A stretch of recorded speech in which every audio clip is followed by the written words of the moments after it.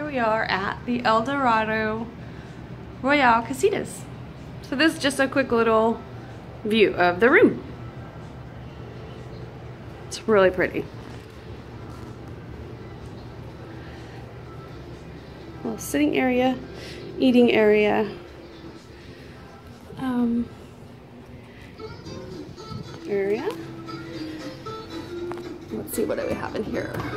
I think Adam already got some beer out of there. I heard a beer open. So this is a little bathtub. Obviously we will close those blinds. and it also looks out to the outdoor shower. So that's pretty cool. It's a pretty bathtub. And then this is our back patio here for the next five nights. Say hi. Cheers little swim up. So we can swim all the way to the pool bar from that. So that's pretty cool. I'm about to probably go try that, I think. Maybe after we eat lunch. And then here's a quick little, here's the bathroom. It's really pretty also. It's nice and spacious. Separate toilet, that's nice. Really pretty shower.